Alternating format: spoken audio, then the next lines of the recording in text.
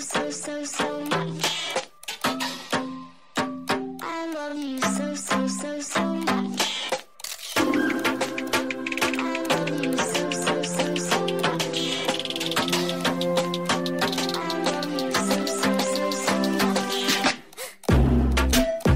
Hello, all you positive heads out there. It's so good to be back with all you beautiful reflections of the one source consciousness that creates and animates all things. If you're new to this podcast, of course, we're super happy to have you here. And if you've been listening and enjoying for a while, I would be super grateful if you would please take a moment to give us a review on Apple Podcasts. It's one of the best and simplest ways to pay it forward and help others find the show so that they too can tap into the powerful perspectives and positive vibrations we are collectively emanating. The other unique and magical way to share this show is by sending any friends you think would benefit from listening to this podcast our Game with the Universe link at positivehead.com forward slash game also listed in the show notes, which will serve them up a quote unquote random episode when they click it. Just instruct them before clicking the link to close their eyes for a moment and sincerely ask the universe to queue up the episode that contains the insight and perspectives that they most need to hear at this point in their life journey, and then click to listen to whatever episode is synchronistically served up to them. I have heard time and time again from people about the incredible results they received playing the game. So just tell your friends magical results are guaranteed or their karma back.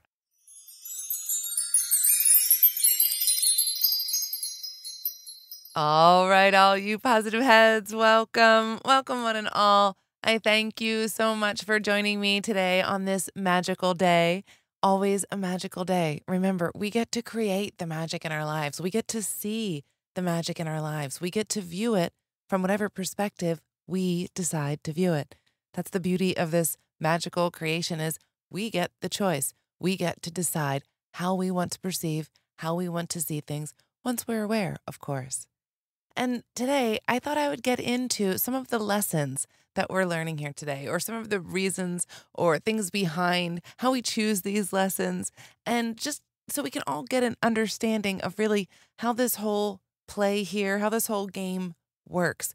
Because it is a play, it is a game. We don't like to hear that sometimes, but that's exactly what it is. We each have our own play. We're playing a certain character, and there's other characters that come into our play. And we play a character in other people's plays. And we're all here helping each other learn and grow. And these lessons are numerous. And until we learn them, we're going to continue to experience the same things over and over and over again. And this reminds me, before I go any further, speaking of things that we continue to experience over and over again, because we need to let go often, we need to forgive. This workshop that my colleagues and I are doing, Tracy Mahan and Monica Dunn, we're doing this coming Saturday, September 9th, on how to forgive, let go, and move into a new chapter. So if this sounds like something that would be beneficial to you, check the link in the comments below. So today, I thought I would get into some of the Law of One material. I know I talk about the Law of One frequently, and it's not very often that I actually read the material. I think I maybe done it once or twice. Today, I'm going to get into some of the actual material. And it was interesting because I thought about this today, and I sometimes when I think about doing this, I think, hmm, should I or should I just talk about something else? And I walked upstairs today after having this thought, and my partner was on a call with Jim McCarty, who is actually one of the three people who was responsible for channeling this material. And I thought, well, if that's not enough sign for me, that I don't know what is. So here we are today reading some of the Law of One material. And I happened to pick book two, and I happened to open up to the session, which is dated March 1st, 1981. Oh, and it happens to be session number 33. A incredible number to me, which means balance, divine harmony, creating this balance within ourselves of the divine masculine and the divine feminine. So, session 33 took place March 1st, 1981. And I'm not going to get into the whole chapter itself. I'm just going to kind of bounce around because that's what I like to do bounce around like a little Tigger. if you knew me, you would know how true that is. uh, so, we're going to start here with this question. I was wondering if there is a programming of experiences that causes an individual to get certain catalysts in his daily life. For instance, as we go through our daily life, there are many things which we can experience. We can look at these experiences as occurring by pure chance or by a conscious design of our, of our own, such as making appointments or going places. I was wondering if there was behind the scenes, as you might call it, programming of catalyst to create the necessary experiences for more rapid growth in the case of some entities. Does this happen? Ra. The incarnating entity, which has become conscious of the incarnative process and thus programs its own experience, may choose the amount of catalyst, or, to phrase this differently, the number of lessons which it will undertake to experience and to learn from in one incarnation. This does not mean that all is predestined, but rather that there are invisible guidelines shaping events which will function according to this programming. Thus, if one opportunity is missed, another will appear until the student of life experience of life experience grasps that a lesson is being offered and undertakes to learn it. So, let's break that down a little bit. And what they're saying there is that not everything is completely predestined. We have a basic blueprint, a basic theme, a lesson uh, a vibration, things that we want to experience, things that we want to learn. And within that huge scope of that vibration, of that lesson, we get to have different experiences. And so we get to broadly pick in terms of that vibration, of that experience, of that lesson. But as we're here in this life, we do get to create what it is that we're experiencing. We get to choose, we get to decide Am I going to learn this lesson? Am I going to understand? Am I going to have an awareness? Am I going to have a different perspective on this experience? All the different times I've had this experience, have I had a different perspective? How many times are we asking us that question? Do I remain in the same perspective each and every time I have an experience like this one? Or have I learned and have I changed my perspective? Because most of us who are continuing to experience the same lesson over and over again it's because the lesson is not fully learned. And this is something that can be frustrating along this path, I know, because it seems as though we do learn lessons, or we learn the outer shell of the lesson, and we might learn the two outer shells of the lesson. But there are deeper and deeper layers of this lesson, and so they will come back in our life if it is not completely learned, all of the layers of the lesson. And this is programmed because we're here to grow. We're here to spiritually grow and we want to do just that. And so we do program this blueprint for ourselves. And that's as far as it goes. It's an invisible guideline. We get to co create, create our entire experience. And when I say co create, it's because we do live in a world that's filled with others, other selves that are just other bits of us. And so that's how we're co creating. Let's move on to the next question then these lessons would be reprogrammed, you might say, as the life experience continues. Let's say that an entity develops the bias that he actually didn't choose to develop prior to incarnation. Is it then possible to program experiences so that he will have an opportunity to alleviate this bias through balancing? Is this correct? I am Ra. This is precisely correct. Okay, thank you. From this, I would extrapolate to the conjecture that the orientation in mind of the entity is the only thing that is of any consequence at all. The physical catalyst that he experiences, regardless of what is happening about him, will be a function strictly of the orientation in mind. I will use as an example, example deleted, this being a statement of the orientation of mind governing the catalyst. Is this correct? I am Ra. We prefer not to use any well known examples, sayings, or adages in our communications to you due to the tremendous amount of distortion which any well known saying has undergone. Therefore, we may answer the first part of your query asking that you delete the example. It is completely true to the best of our knowledge that the orientation or polarization of the mind body spirit complex is the cause of the perceptions generated by each entity. Thus, a scene may be observed in your grocery store. The entity ahead of self may be without sufficient funds. One entity may then take this opportunity to steal. Another may take this opportunity to feel itself a failure. Another may unconcernedly remove the least necessary items, pay for what it can, and go about its business. The one behind the self observing may feel compassion, may feel, may feel an insult because of standing next to a poverty stricken person, may feel generosity, may feel indifference. So you can see from what Ra is saying there that there are many different ways to perceive any given situation, and we get to decide what that perception is. We get to decide if we feel compassion or empathy, or if we feel hatred or disgust, or nothing at all. And once we're aware of paying attention to all of these different perceptions, all of these different energies running through us, then that gives us the opportunity to then balance these emotions, these energies, and these vibrations. Now, skipping ahead to the next question What I would like for you to do is list all of the major mechanisms designed to provide catalytic experience that do not include interaction with other self. That is the first part. I am Ra. We grasp this question that you realize, and from this question, that you realize that the primary mechanism for catalytic experience in third density is other self. The list of other catalytic influences, firstly, the creator's universe, secondly, the self. Can you list any subheadings under self or ways the self is acted upon catalytically which would produce experience? I am Ra. Firstly, the self unmanifested. Secondly, the self in relation to the societal self created by self and other self. Thirdly, the interaction between self and the gadgets, toys, and amusements of the self, other self invention. Fourthly, the self relationship with those attributes which you may call war and rumors of war. I was thinking possibly of the catalyst of physical pain.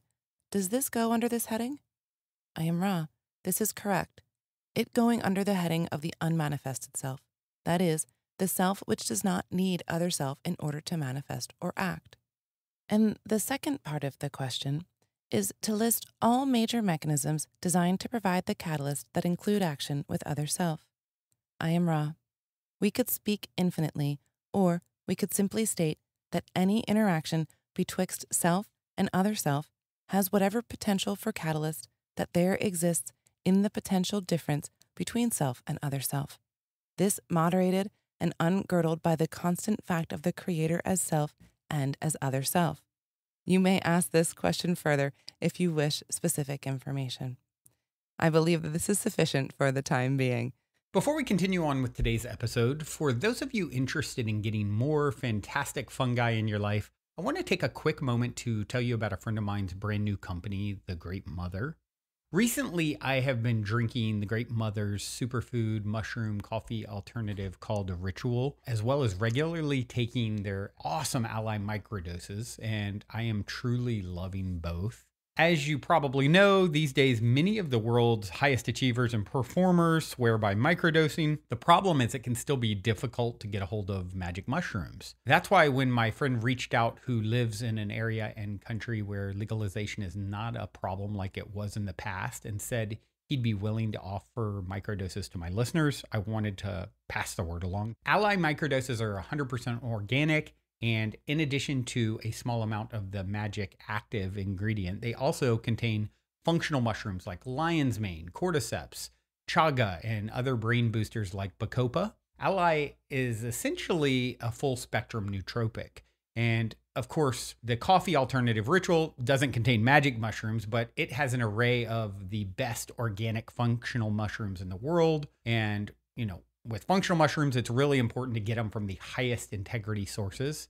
And whereas some other highly popular mushroom coffee alternatives on the market only contain a few varieties of functional mushrooms in their actual ingredients, Ritual has seven. Not only does it contain more types, it also contains three to four times the amount that the big brands have in each serving, and it tastes amazing. I actually like to have it on its own as well as mixing it into my coffee sometimes as well. However, since this is definitely a unique offering, there are a few steps.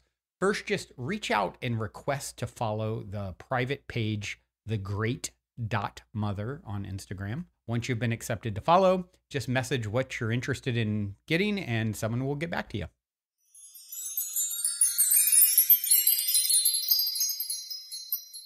Now, I'm not sure if that's sufficient for you all, but maybe I can explain it just a little bit more. So, what they're really saying there is that anytime we have any pain in the body, this is something that we are doing to ourselves. We don't necessarily need someone else to come in and cause us this pain.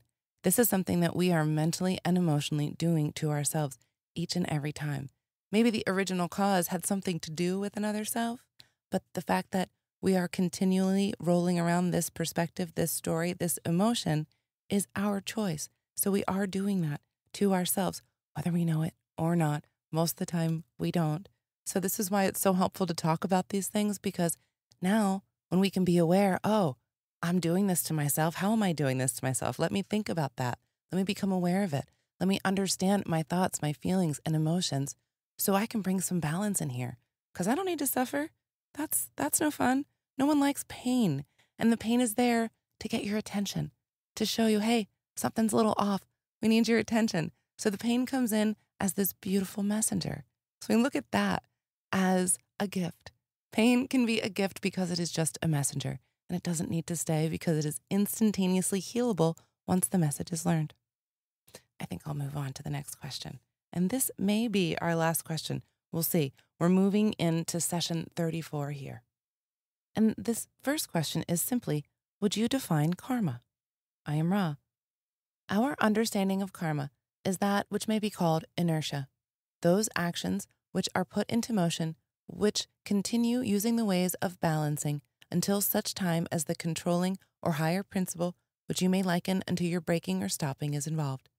This stoppage of the inertia of action may be called forgiveness. These two concepts are inseparable. If an entity develops what is called karma in an incarnation, is there then programming that sometimes occurs so he will experience catalysts that will enable him to get to a point of forgiveness, thereby alleviating the karma? I am Ra. This is in general correct.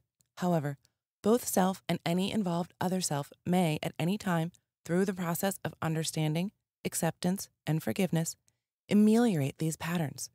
It is true at any point in an incarnative pattern. Thus, one who has set in motion an action may forgive itself and never again make that error. It also breaks or stops what you call karma. Again, I'm going to say this because it just makes me think about it.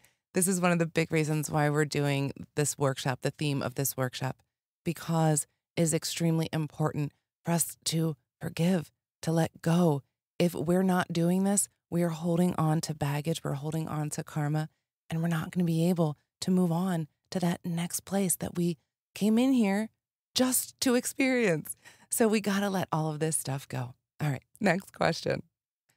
Can you give me examples of catalytic action from the last session, beginning with the self unmanifested producing learning catalyst? I am Ra. We observed your interest in the catalyst of pain. This experience is most common among your entities. The pain may be of the physical complex. More often, it is of the mental and emotional complex. In some few cases, the pain is spiritual in complex nature. This creates a potential for learning. The lessons to be learned vary. Almost always, these lessons include patience, tolerance, and the ability for light touch. Very often, the catalyst for emotional pain whether it be the death of the physical complex of one other self, which is loved, or other seeming loss, will simply result in the opposite, in her bitterness and impatience, a souring. This is catalyst which has gone awry. In these cases, then there will be additional catalyst provided to offer the unmanifested self further opportunities for discovering the self as all sufficient creator, containing all that there is and full of joy. Now, this is such an important one that I think we all need to consider. All of these catalysts, all of these things that occur in our lives, they are happening for us. And this is what Ra is explaining here. These are all happening for us for our learning experience. And some of these catalysts, they can go awry because we take them off in a perspective that we didn't originally intend to. From spirit side, we say, "Oh yeah, cool. I'll have that catalyst and that's going to teach me this because oh yeah, I'll I'll see that. But then you come into the physical and it's not so easy to see. And so sometimes it goes awry. And that's okay because we are always offered another opportunity. And as Ra says here, that opportunity is to discover the self as all sufficient creator, your self containing all that there is. And that all is full of joy, it is full of love. That is all that we are. Believe it or not, all of these crazy experiences that we go through are to teach us that. Whether we judge them good, bad, indifferent, they're all here for our learning enjoyment as part of the play, as part of this magical game that we all get to coexist in. And I personally really, really love existing here. I love this planet. I love this game. And I really, really, really love finding all of this magic, discovering all of the magic around us all of the time, discovering our power, discovering this light within ourselves each and every day, growing stronger and stronger and brighter and brighter, finding this power of love within us all, knowing that we are little fragments of Creator. That's all we could ever be. We're here to enjoy and learn from this beautiful game, this beautiful play. And I certainly love being here. I love it so much. The more we understand, the more we can be aware of, the more we can love it. So I hope that that encourages you all to see it maybe in a little bit different way so that you can love it a little bit more too. I love you all so much. I'm going to leave you with this song today by Symbolico called Symbolic Expression. Until next time, I love you all.